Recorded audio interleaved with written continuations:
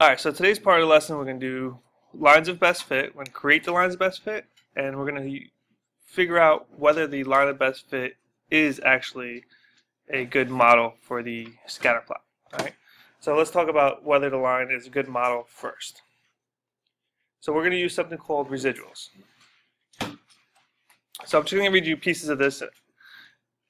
A residual is the difference of the y value of the data point and the corresponding y values. All right, the scatter plot of the residuals show how well the model fits a data set. Evenly dispersed about the horizontal axis. If the scatter plot, if the residuals are evenly dispersed about the horizontal axis, it is a good fit.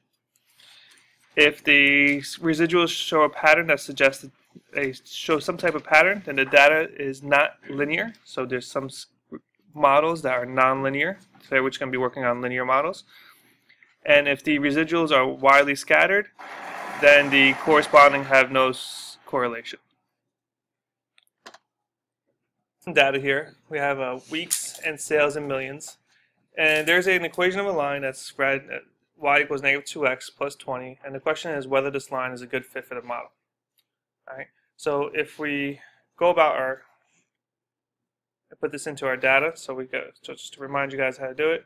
We're going to go to stat, enter, stat, enter, list one, list two, plug this data in. And I'm just going to look at what the scatter plot looks like. So I'm going to hit second, y equals. I'm going to go on, turn my scatter plot on. So I have scatter plot one. I'm going to turn it on. I'm going to have my list one and list two on there. I have selected the scatter plot. And to look at this, I'm going to do zoom 9. And then this will be the line. Actually, let me turn that off. So the equation, negative 2x plus 20 is the line I'm questioning here. And I actually went into y1 and I'm going to plot this line. So one more time. So I'm going to go zoom 9. This just showed me my scatter plot the line that we're questioning is I'm going to plug into y equals. So I'm going to do y equals, and I'm going to plug this equation in. Negative 2x plus 20 and y1. And I just want to see what the line looks like against the scatter plot.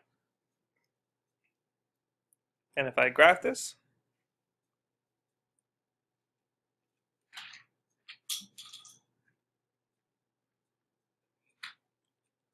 there's the line of best fit that we want to know if if this is the best line for the model.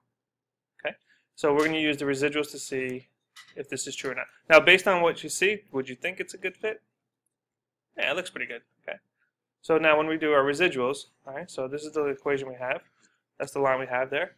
And now we're going to look at the residuals. How do we get residuals? What are residuals? All right. So if we look at the equation negative 2x minus 20, and we substitute in the x values into the equation. So for the first one, we have y equals negative 2 times 1 plus 20. You get negative 18. Negative 2 plus 20 is 18. So here's our first one. So this is the x values versus the scatter plot versus the model. So on the scatter plot, 1 was is 19. On the model, 1 is actually an 18. That's me? So if I'm looking at this model again, 1 has a value of 19, but on the model it actually has a value of 18. Right? So the scatter plots are not are the actual data. The line is the model that best fits the data. So the difference between between the actual scatter plot and the equation is 1. That is your residual going to continue to process here. So if I want to find a residual for week 2, so this is going to be y equals negative 2 times 2 plus 20. Negative 2 times 2 is negative 4. Negative 4 plus 20 is equal to 16. So the model would have a y value of 16 versus the scatter plot having a y, uh, a y value of 15. What is the difference here? 15 minus 16 is equal to negative 1. All right. And I'm going to do, and I'm going to fill in the rest too. So if you fill in the rest, you're going to have 14, 12, 10, 8, 6, and 4.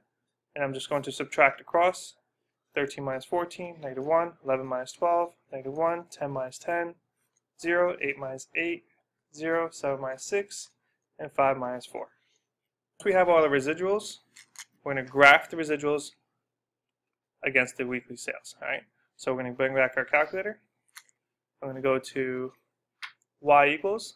I'm going to turn off the equation I put in there. So just put the cursor over the equal sign, hit enter, and I'll turn it off. And I'm going to change my stat plot. So I'm going to go second, y equals. So right now the stat plot has list 1 and list 2, but list 2 is the, the values from the scatter plot.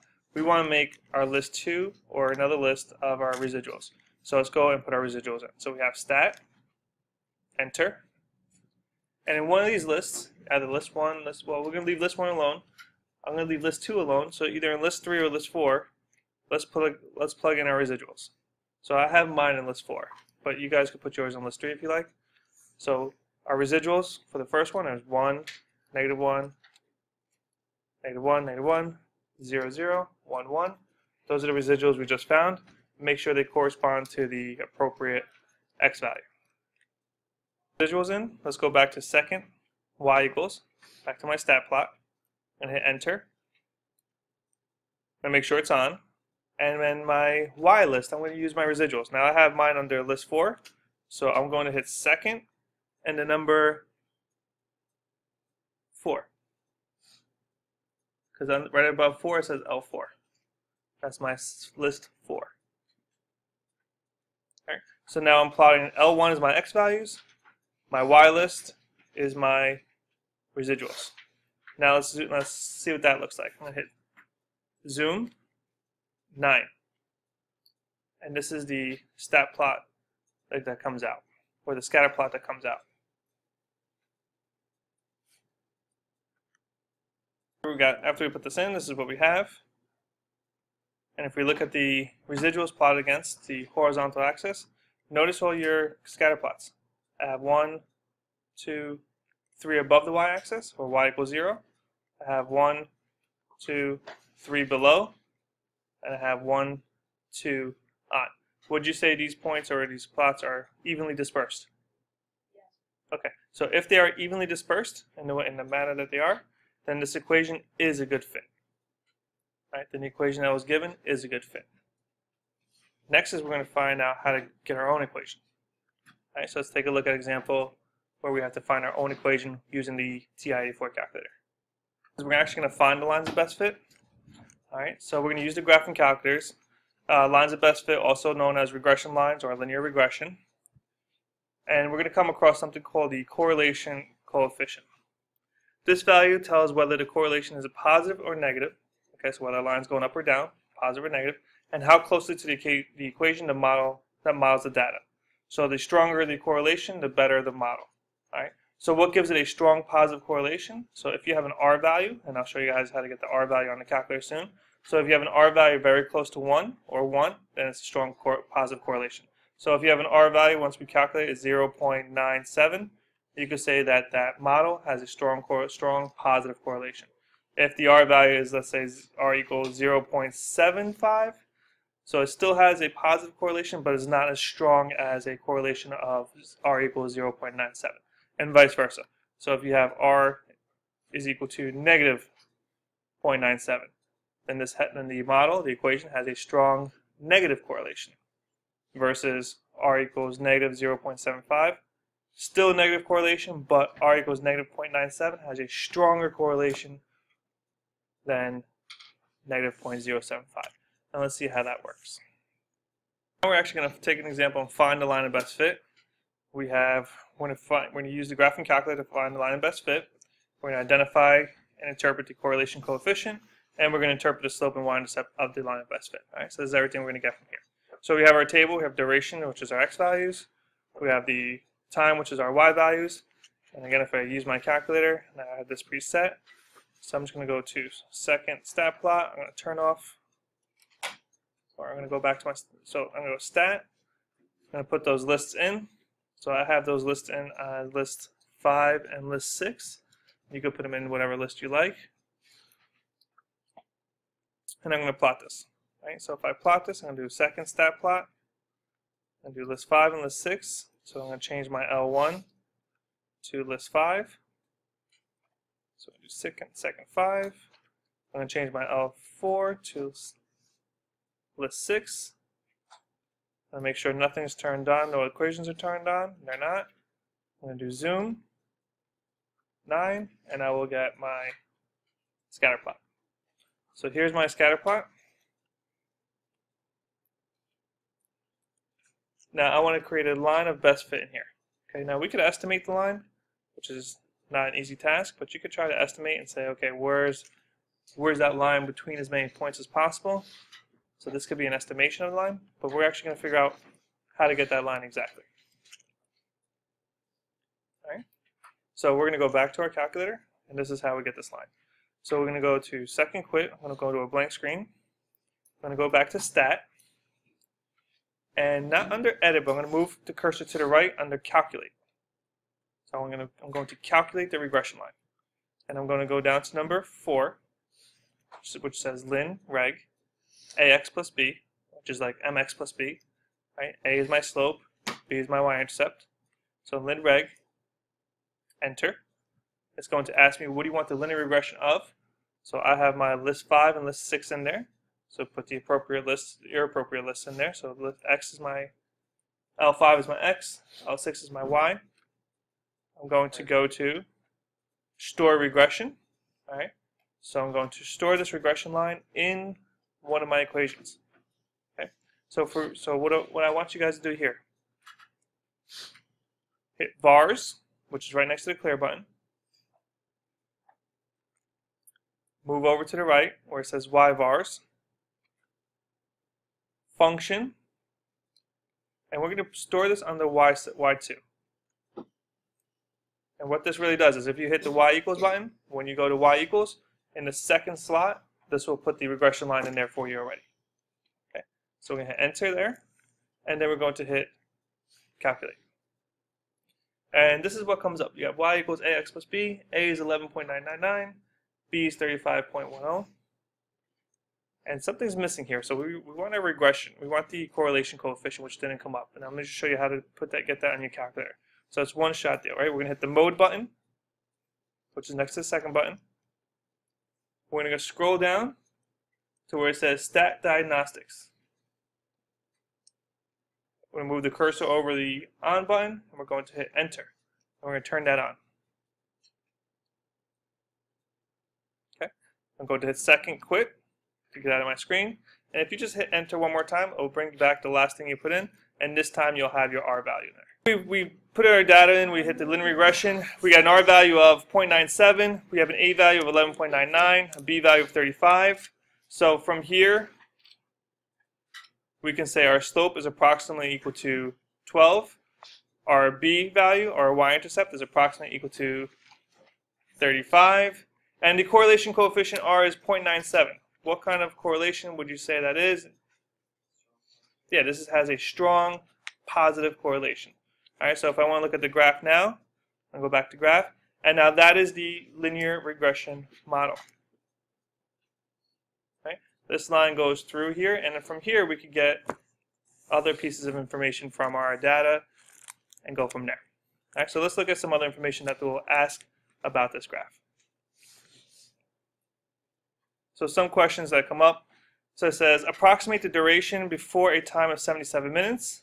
And part B, predict the time after an eruption lasting 5.0 minutes. So interpolation and extrapolation.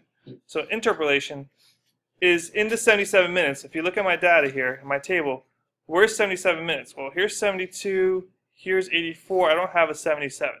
So 77 minutes is going to say between 3.1 and 4.2 minutes.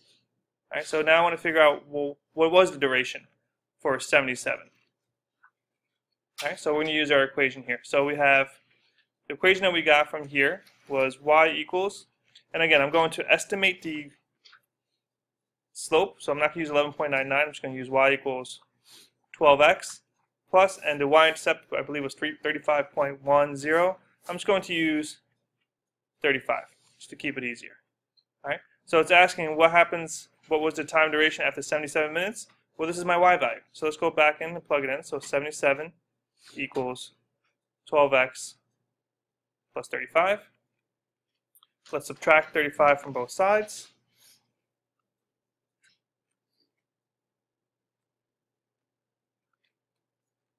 We get 42 equals 12x, and then we get uh, x is equal to 3.5. So if we look at the table, so we said before, in order to have a time duration of 77 minutes, it should be between 3.1 and 4.2, and we actually got it to be at 3.5. All right, so now we can use the linear regression model to get data in here that's not that was not collected. Right, that's the interpolation in the in with, within the data set. Now, what happens if we want to go outside of our box? Right, outside of the scatter plot. So the other one here says, well, so what happens if we go on the outside? Now we want five minutes. So now again, we can just use our equation again.